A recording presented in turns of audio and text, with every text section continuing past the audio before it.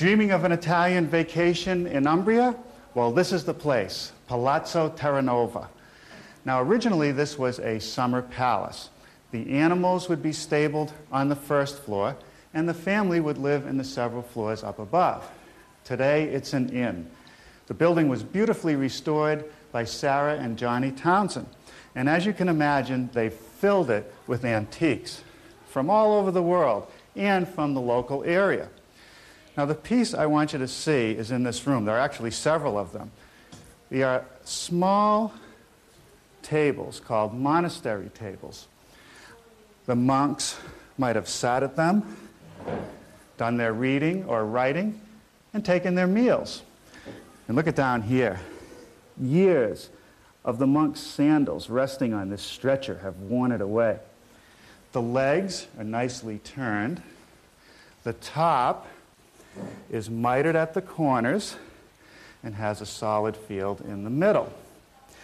I really like the size of this piece, and if you make several of these, you can line them up and make one big long table. So I think we should take some measurements.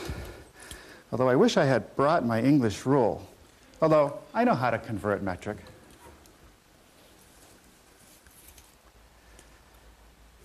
Well, after converting those metric dimensions to inches, I think I have a fairly accurate reproduction of the antique original we found in Italy.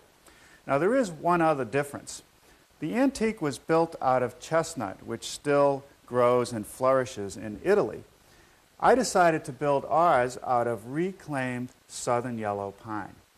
Now, whenever I make legs for a table, and here I'm going to need eight for this one and the next one, I use a lathe duplicator. Let me show you that.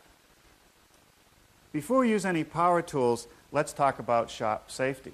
Be sure to read, understand, and follow all the safety rules that come with your power tools. Knowing how to use your power tools properly will greatly reduce the risk of personal injury. And remember this, there is no more important safety rule than to wear these safety glasses.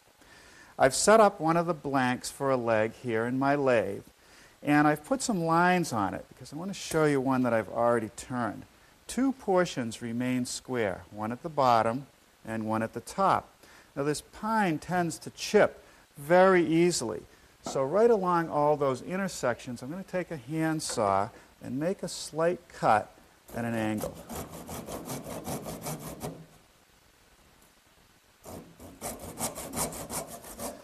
Okay, that takes care of that. Now let me show you how this duplicator works. I started out by making a pattern. Think of it as a cross section through the leg. It shows every detail of the turning. For instance, it's straight along this section, then there's a bead and a cove, and then we're square again. The way the machine works is that on this end, there's a pin, which is a follower. And as I move it forward, it'll eventually hit the template, while on the other end, there's a chisel which will actually do all the work. Sort of works like the key making machine in your local hardware store. And whenever I do turning, I like to wear a full face mask. You never know when this can come flying off, and you don't want it to hit you in the face.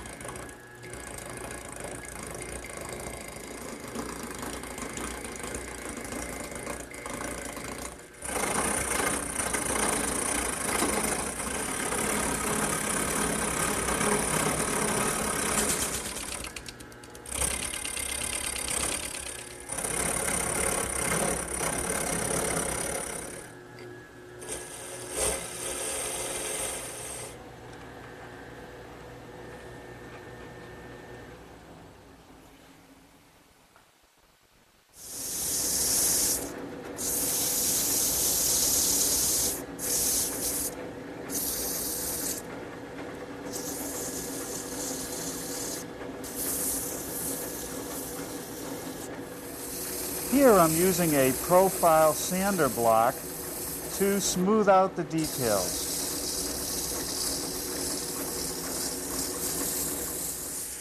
Boy, this southern yellow pine is amazing. These reclaimed timbers could be over 100 years old and you can still smell the resin and there's plenty of pitch in the wood.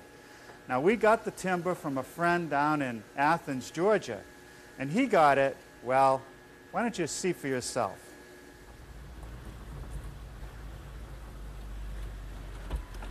All right. Well, Jason, you've driven me way out into the countryside here. Where are we? Norm, we'll just we'll just kind of keep that to ourselves. Okay. now you salvaged quite a bit of the timber from that big fire. We did. Uh, as a matter of fact, we've got some of it sitting here. Uh, these are some of the end pieces we were able to uh, cut off of some of the ones that have already been sawn. Actually. Wow, that's the old heart pine, huh? Yes, it is. Some of these you can see it's been burned mm -hmm. during the fire. So look at the growth rings on this. Look at how close together they yeah, are. Yeah, they're really tight. Uh, some of these will go upwards of 40 grains an inch on some of these. So. so. with that much, boy, you're looking at a timber that came out of a tree that could have been two, three hundred years yes, old. Yes, sir, sure could. Well, there's not a lot of char on it, though. Not a lot at all. We were able to salvage quite a bit of lumber off of this, mm -hmm. even though it was burned. Mm -hmm.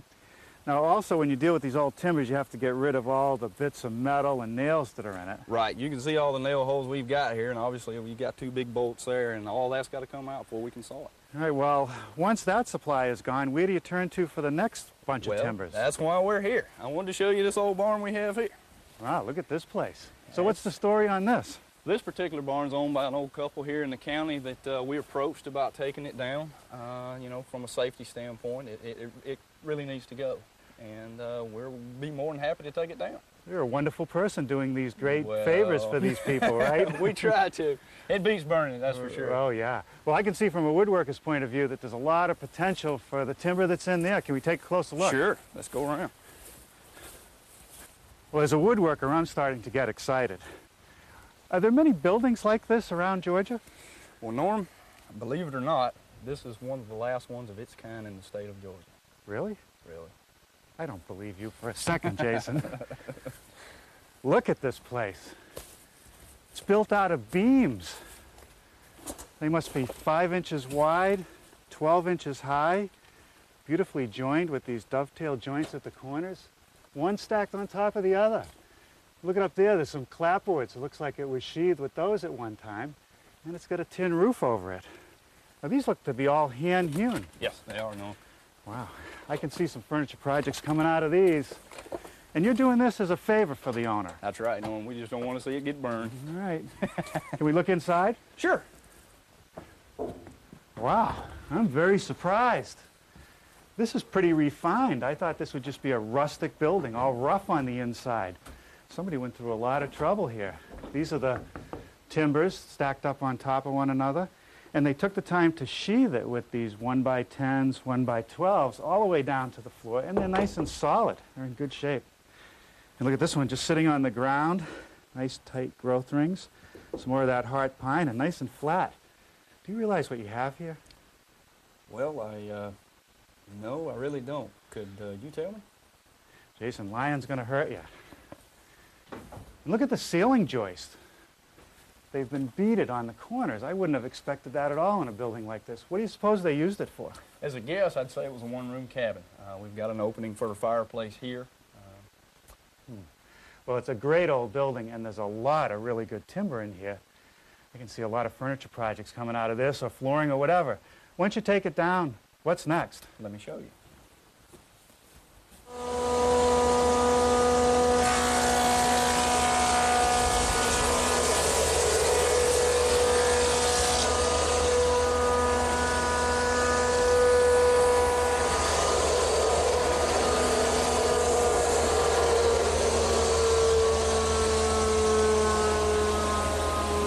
Jason, I thought you said the last place we were at was the last building. There's another candidate. Well, Norm, uh, there's two, actually.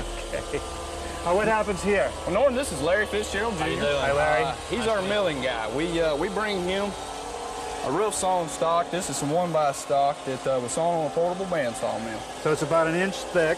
You don't have to dry it because it's not a green tree, but it's very irregular. Right, right. So you take it through the process. Show me right. your machines. Right. No, we start with the, uh, the to get a 30-inch planer here, we start off with the milling process. Wow, that's a good-sized planer. That'll handle just about anything. Right, right. And then after the planer, uh, would they come out surface like this on two sides. Now look at these boards. They must be over 20 feet long and over 12 inches wide. Right, right. Beautiful stuff. Now, what's this going to become? Furniture? It's going to be flooring. So you make it into flooring, so you have to make a tongue and groove joint. Right, right. I see you got a couple pieces over here. One has the groove. You've straightened the edge, made the groove.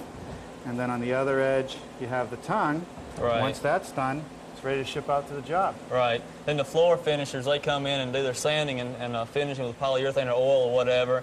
The one process is they can take it and they can buff it out with, an, with a paste wax or some kind of a some kind of a wax and give it a good shine. Yeah, look at the wood. The grain comes right through. It's beautiful stuff.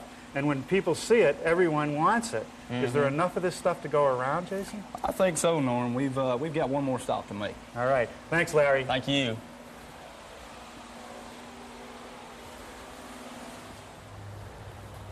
All right, now we're talking. A little fishing. What do you suppose we got in there? Probably got a few catfish, a few brim there, Norm, but uh, we're in Porterdale, Georgia for a little different fishing expedition here behind you. We've got an old mill building that uh, on the outside is brick and glass, but uh, in the interior we've got a little treasure in there. I bet it's some more of that heart pine. Could be. Let's take a look.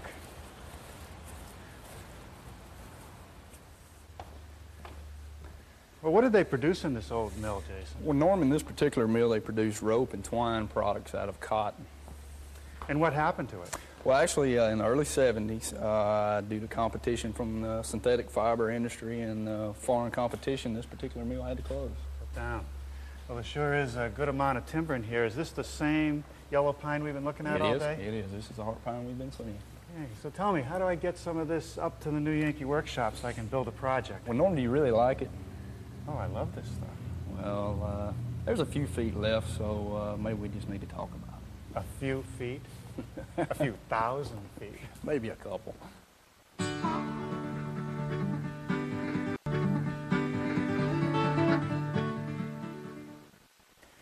Well, Jason sent me some beautiful timber. Look at this piece. Tight, tight grain and a nice quarter sawn pattern. It's nice to know that this ancient timber is going to have a second life in a piece of furniture. Now let's take another look at the prototype. The legs are joined at the top with a small rail, and at the bottom there's a stretcher between the legs and another stretcher that joins the sides. All the joinery is mortise and tenon. I've laid out the mortises on the leg. I'll make those at my mortising machine. I've set my dedicated mortiser up with a half inch chisel with the bit that comes down through the center. The bit removes most of the material and the chisel will square it up. I've set the fence so that it's a half inch from the back edge of the chisel and I've set the depth for a little over an inch.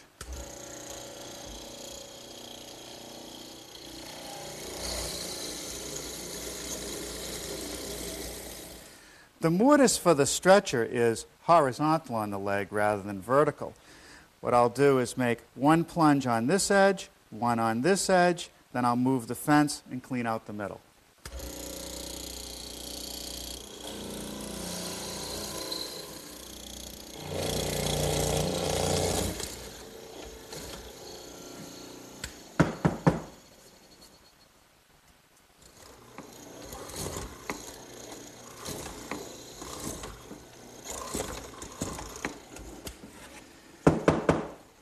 The short stretchers get this mortise, which will receive the tenons from the stretcher that goes end to end.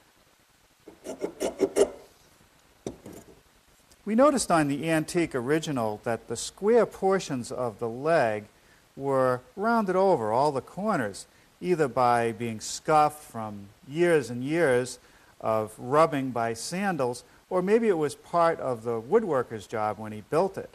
In any case, I want to try to replicate that detail, so I'm using a block plane to knock the corners off, and I'm also using this little tool, which is pretty handy. It's a little micro plane, and I can shave bits of material off the corner, sort of a free-form shape. And after I get done shaping it, I'll just sand it, and I think we get the effect I want.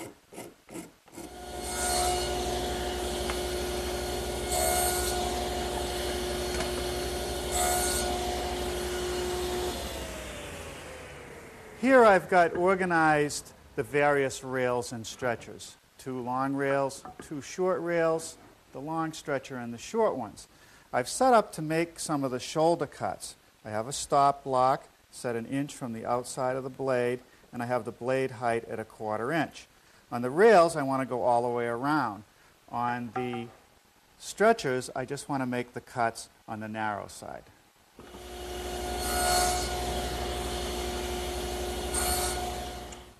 Here I'm elevating the height of the saw blade to 7 16ths of an inch to make the remaining shoulder cuts on the stretchers.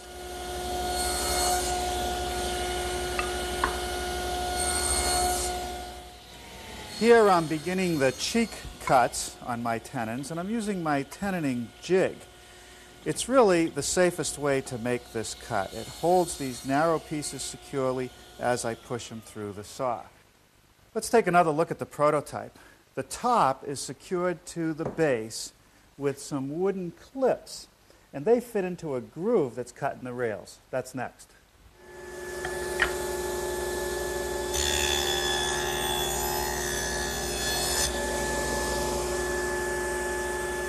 Let's take another look at the prototype. The next detail I want to make is this chamfer.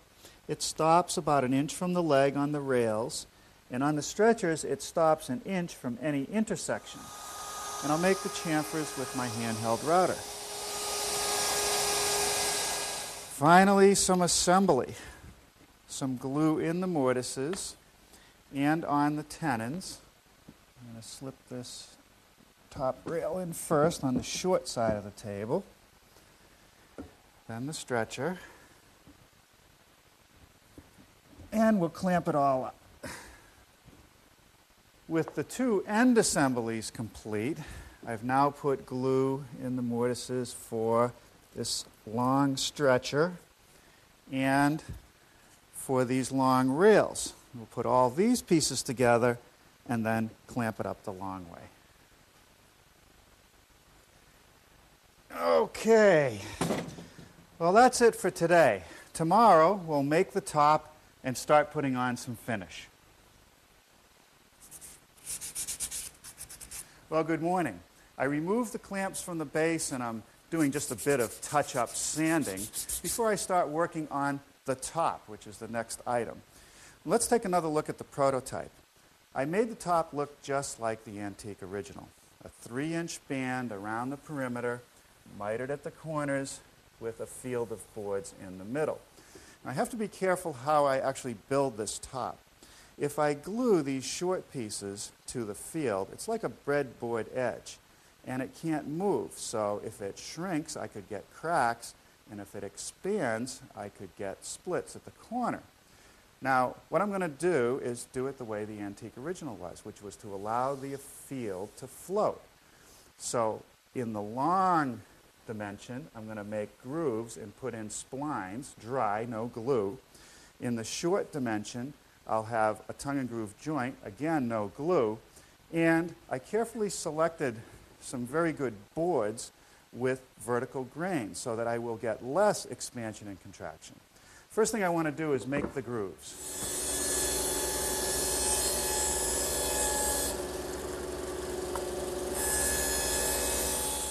For the last few minutes, I've been very carefully cutting the ends of the boards for the field.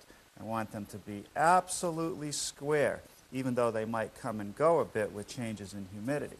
And that looks pretty good. I've also taken the time to set up and run one of the tenons on the end to make sure that that fits properly. Those will go right into the short pieces, and you'll notice there's a slight gap in the end, and that's okay. I want room for expansion. The setup for the tenon is a sacrificial wood strip and the dado cutter.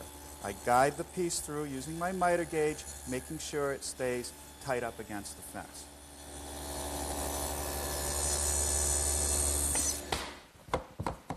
Okay, that's going to be good. Now I want to carefully miter all the corners of the band.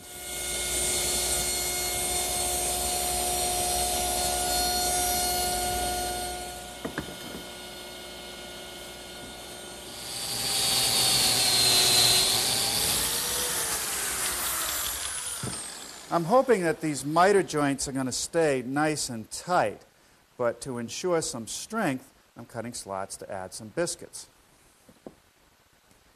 Now it's time to cut some splines. I've selected some stock so that the width of the spline and the grain run in the same direction.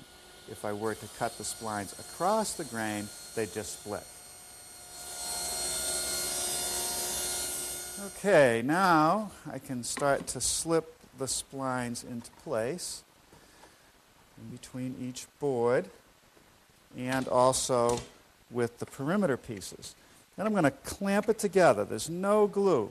We don't want any glue in this part of the job. Once I have it clamped together, I'll check the alignment of my miters, and then I will glue the biscuits in place. Glue in the slot for the biscuit and on the joint. I'll slip both ends on and clamp it up.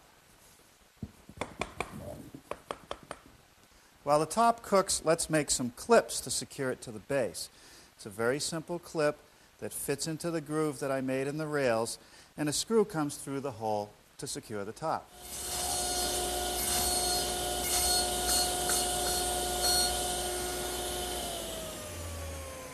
All I have to do is use my miter gauge and a saw blade to remove material to make this little tongue, and then I'll cut it to length at the miter box.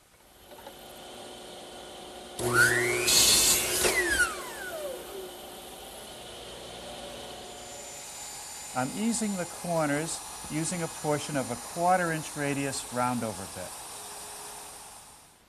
To secure the top to the base, just slide the clips into the groove and drive some inch and 5 8 screws. So, once that's attached, I guess I better start thinking about what kind of finish we're going to put on this piece. One of the challenges in trying to finish this project is to unify the colors of the wood. Some of it's a bit yellow and some of it's a bit red. So we pulled out our stain collection and we're turning to this gel stain.